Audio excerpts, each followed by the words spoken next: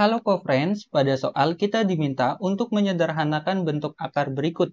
Jika dijumpai soal seperti ini, co-friends ingat terlebih dahulu di mana jika kita punya A pangkat N, ini sama dengan A dikali A dikali A dikali sampai dengan dikali A sebanyak N faktor.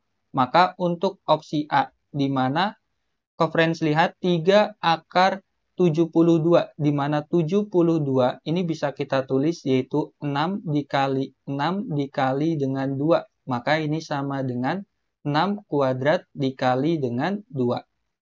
Maka bisa kita tulis 3 akar dari 6 kuadrat dikali 2. Di mana conference ingat operasi bentuk akar. Di mana jika kita punya akar A dikali akar B, ini sama dengan akar dari AB. Maka kita peroleh sama dengan 3 dikali dengan akar dari 6 kuadrat dikali dengan akar dari 2.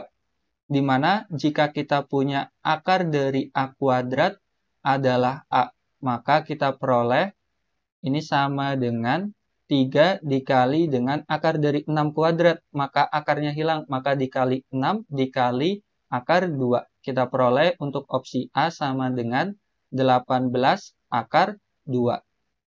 Kemudian untuk opsi B, di mana 2 akar 54, di mana 54 ini bisa kita tulis yaitu 3 dikali 3 dikali 6.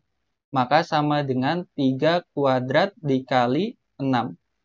Maka bisa kita tulis 2 dikali dengan akar dari 3 kuadrat dikali 6. Ini sama dengan 2 dikali dengan akar dari 3 kuadrat dikali dengan akar dari 6. Ini sama dengan 2 dikali 3 dikali akar 6. Ini sama dengan 2 dikali 3 yaitu 6. Maka 6 akar 6.